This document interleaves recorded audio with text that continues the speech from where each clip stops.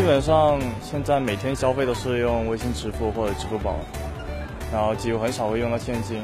No, you cannot pay like this. Now I think they can use the Apple Pay, but not like here. Here's so many options, and I always go there and say, oh, in China everything is more convenient. 没有用过，学是可以，现在这么老了，还好像眼睛也不太方便。主要是方便嘛，可能有的不带现金呢，这个支付宝什么比较方便，一个月差不多有几个几千块是有的了。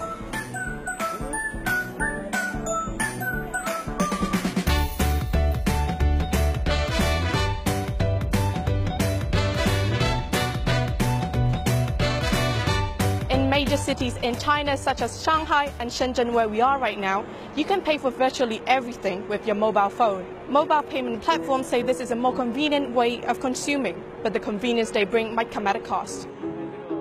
我覺得值得我哋去諗一件事就係，譬如 OK，Apple Pay 啊、WeChat Pay 啊，甚至 Alipay 都好啦。其實佢哋會唔會用咗我哋嘅資料作為佢哋第三方嘅嘅用途咧？譬如我喺香港，可能佢會將我嘅 geodata transfer 翻去國內，或者甚至去其他歐美嘅地方咧。咁萬一我啲數據都誒對方嘅政府需要要求嘅時候，機構就會係即係如取如攜去去俾佢哋咧。